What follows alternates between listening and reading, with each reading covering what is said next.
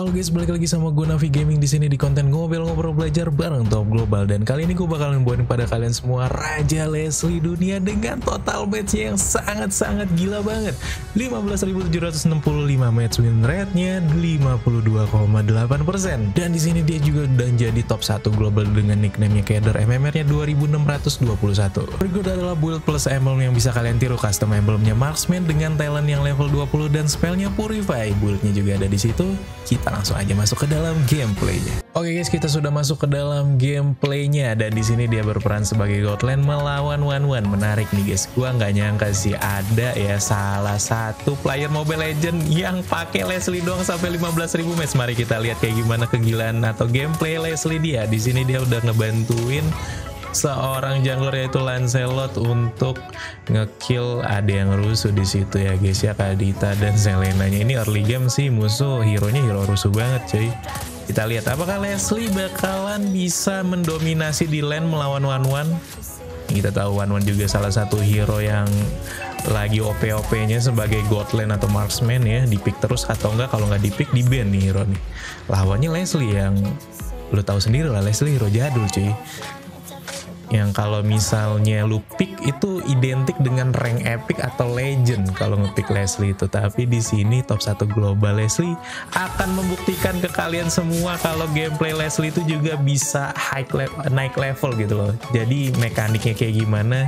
Mari kita lihat di situ tadi kena Selena Abyssal Arrow tapi masih bisa purify. Gokil ini salah satu apa ya skill untuk membaca permainan musuh juga sih menurut gua. Karena di sini dia pinter memilih spell untuk menghindari ganking dari musuh yang banyak banget hero stunnya. Tapi lo lihat tiga orang sekaligus mencoba untuk ngegangbang satu orang Leslie tanpa ada bantuan sama sekali dan dia harus tumbang. Nggak apa-apa. Early game itu biasa guys. Leslie ini memang tipikal hero late game. Jadi kalau misalnya lu pakai Leslie early game mati-mati terus nggak apa-apa. Ya penting nanti late gamenya kita lihat kegilaan damage dari Leslie nya dia ya Oke, untuk item pertama udah ada sepatu attack speed di situ dikantongin. Oh, dia pakai ultinya untuk melihat musuh yang bersembunyi di semak-semak. Menarik nih.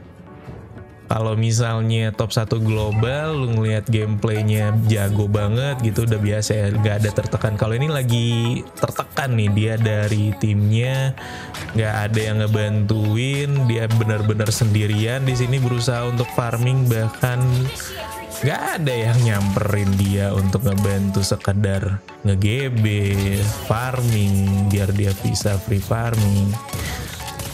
Nah kita lihat nih sama-sama ya guys ya. Kayak gimana dia keluar dari tekanan one-one-nya di situ. Mencoba untuk mengincar seorang Leslie tapi udah ada bantuan dari Lancelot di situ. Sing sing sing. Puncture-nya langsung on point.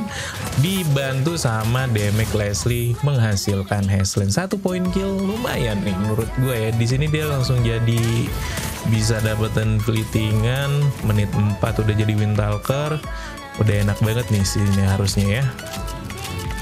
Datang Selena kita lihat.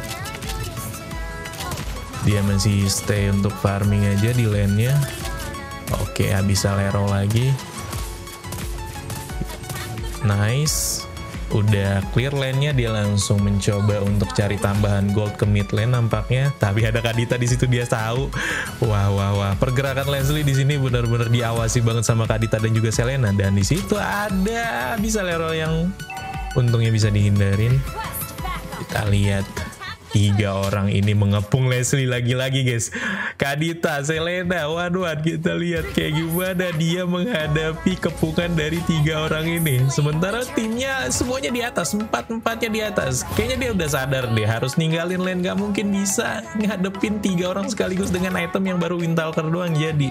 Jadi di sini dia memilih untuk arah mid lane. Lihat tuh. Eh Selena Kaditanya langsung aja nyamperin ke mid lane dan ngebiarin one-one-nya free farming di bawah menurut gue pilihan yang tepat daripada mati di bawah mati konyol kayak tadi ya kan dia udah sadar gitu loh taktik musuhnya itu ya bakalan ngelok dia habis-habisan dengan Selena dan Kaditanya untungnya ya di sini dia dibekalin oleh spell Purify yang tentu aja bisa nge-cancel stun dari Selena maupun Kadita ya kalau mau combo ulti.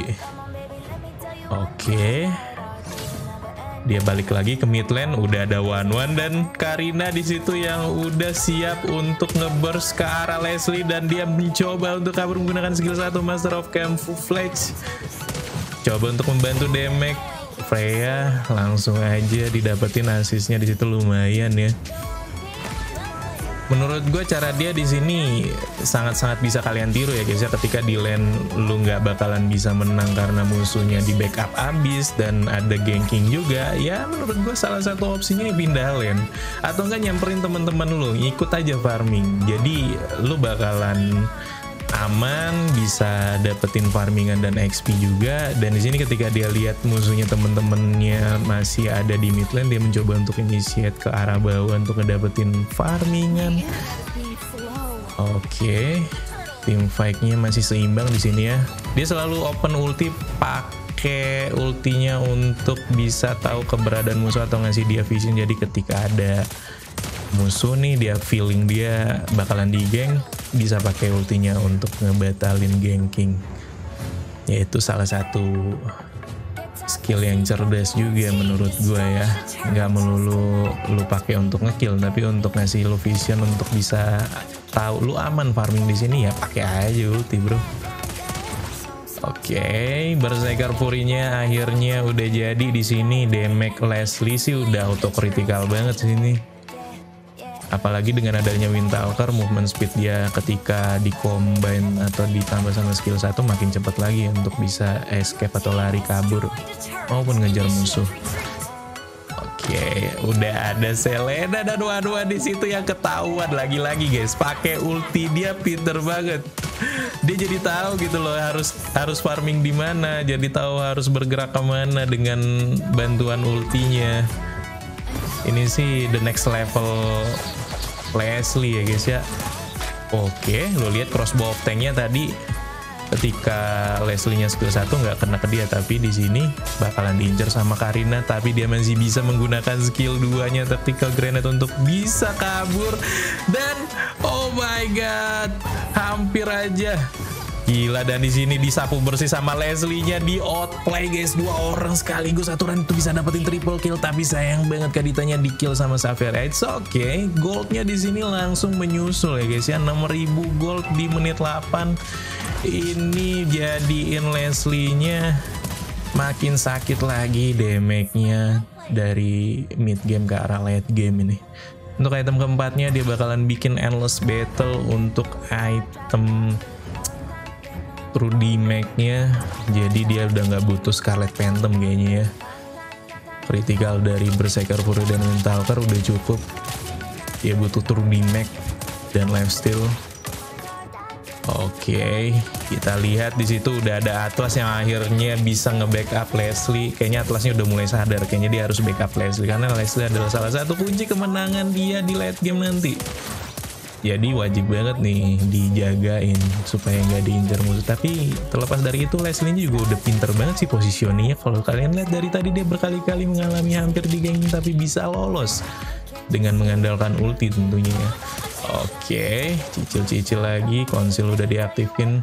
Ah bisa leronya kena tapi dia tenang aja, masih ada purify coy, nggak ada yang bisa ngegeng Leslie ketika lagi purify kayak gini. Gue yakin musuhnya kesel banget. Masalahnya mereka udah mah ngebuang petrify, ngebuang skill, tapi si Leslie-nya ini tetap masih hidup gitu loh, nggak mati dan bahkan di sini dia penyumbang damage terbesar mega kill tadi berhasil dapetin Karina. Endless battle udah jadi akhirnya ya. Dia mencoba untuk ngebantuin Yin di arah atas. Freya di situ darahnya sekarat dan hmm, dua kali tembak doang. Unstoppable ini udah sakit banget Leslie-nya guys. Ada one one mencoba untuk join team fight kita lihat dia berhasil kah? Oh tidak. Ternyata crossbow of tanknya aktif di situ. Mungkin agak sedikit telat dari atlasnya ya untuk nge-backup It's okay, gak apa-apa. Kita lihat lagi di sini skor udah menunjukkan 5 poin kill. Apakah akan bertambah? Apakah ada efek di game ini? Oke, udah kontes atas itu fatalnya udah diaktifin tapi kita lihat di sini mencoba untuk mundur karena dia tahu bakalan diincer di pinter banget sih positioningnya sumpah dan dibalikin keadaannya di situ one one nya terkena Hazeland. Waduh, play. Emang 15.000 match gak bisa bohong sih guys ngebuat lu main Leslie-nya tuh jago banget. Tapi sayang banget di sini dia diincar sama Karina. Dia cuma punya satu kali pet apa tuh namanya purify untuk kabur, nggak bisa berkali-kali menurut gue di sini Atlasnya sih yang harus berperan penting ngejaga Leslie-nya. Leslie-nya mainnya udah bagus banget, tapi Atlasnya berkali-kali gagal untuk bisa ngelindungin Leslie. Oke, kita lihat. Lumayan cukup tertekan ya gara-gara tadi kalah team fight tapi di situ ada Fataling mencoba untuk mendapatkan one one tapi sayang banget. Di situ one one nya crossbow of tanknya aktif dan bisa menghindari Fataling di sini. Oh my god tapi dengan damage Leslie nya oh my god hampir aja nggak dapetin seorang one one. Tapi di situ ada Safir dengan ultimate-nya di sini malah Kaditanya harus tumbang coy. Gila dia nggak dapat one one tapi dapat Kadita menurut gue masih untung-untung aja sih endless battle menuju ke arah BOD nah gitu tuh. Di backup kayak gitu Karinanya langsung kabur. Bagus banget nih. Kalau dari tadi aja pasti udah menggila nih Leslie guys. 15.000 match. Lu bayangin aja tiap hari dia pakai Leslie bro. Udah kayak sarapan. Pagi-pagi main Leslie siang main Leslie malam juga ngepus Leslie. Gokil nih orang Oke kita lihat di situ ada Fataling tapi di sini Karinanya Bulteng jadi butuh pistol sebenarnya untuk bisa ngehancurin armornya.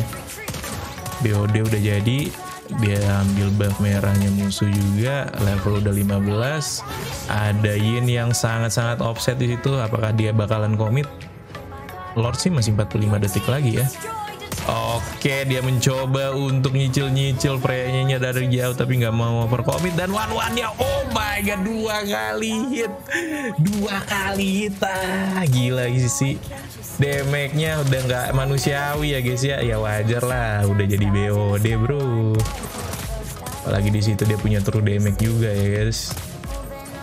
Gua rasa WON 11 tadi masih cooldown itu makanya dia nggak bisa menghindari damage dari Leslie tapi di sini ada. Oke okay, Atlas mencoba untuk Freya satu hit. Freya bro satu hit bro. Fighter loh itu. Tebel. Satu hit. Gox bukan main ini Leslie. Oke menit udah menit 14 ini sudah late game ini ya guys ya. Harus berhati-hati di sini Leslie-nya karena tumpuan damage terbesar cuma ada di dia nih Lancelot kayaknya udah nggak bisa ngasih damage yang terlalu besar dan lihat Karinanya build tank tapi masih sangat-sangat bisa ditembus oleh seorang Leslie. One one nya crossbow tank aktif, WON juga aktif. Dia pinter banget nyari semak-semak untuk menghindarin crossbow tanknya dan ngedapetin unstoppable. One one nya harus tumbang di sini guys. Untuk item terakhirnya dia bikin Scarlet Phantom dia mencoba untuk ngedapetin tambahan attack speed dan critical supaya makin jos lagi. Gue kira dia bakalan bikin pistol ternyata enggak guys. BOD kayaknya udah cukup sih. Tes tes tes Kadita. Tes tes tes. Oh my god. Oh iya gokil. Purify-nya tetap nggak dipakai dia tenang banget cuy. Heran gue padahal udah kesetun itu dia kayaknya tahu deh Kadita udah nggak punya ulti kalau Kaditanya ada ulti bisa mati. Di sini masalahnya itemnya nggak ada item defense sama sekali. Benar-benar full damage bro tapi di sini dia mencoba untuk fokus base dan langsung aja dimenangkan oleh Raja Leslie dunia di sini dengan perolehan 15 poin kill MVP ya guys ya. Kalian bisa lihat di situ dia paling kaya dari tadi padahal early gamenya di geng terus tapi dengan mekanik dia dalam memakai Leslie bisa ngerubah keadaan ya guys ya. Thank you buat kalian semua yang udah nonton dan jangan lupa kalau kalian suka konten gue diklik tombol like dan subscribe-nya kalian juga bisa request hero-hero menarik lainnya tinggalin aja di kolom komentar. Sampai ketemu di konten gue selanjutnya. As always, keep support. Peace out.